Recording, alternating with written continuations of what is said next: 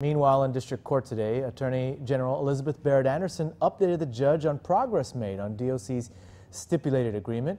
Anderson announced that since federal judge Alex Munson's order issued January 16, DOC has made significant progress in meeting deadlines that the judge set. Most of the issues in Judge Munson's order relate to medical and mental health issues. Only one issue deals with the prison's electronic locking system an issue the Attorney General says she didn't expect would still exist some 20 years later.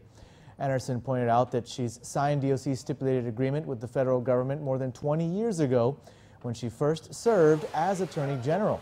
Quote, I can't believe that I come back 20 years later and they still have a locking issue, she said, vowing to see this case end during her current term.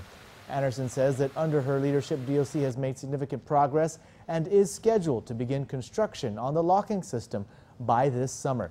She also said that partnerships are being made with the Guam Memorial Hospital and Guam Behavioral Health Center to streamline health care for the prison prisoners.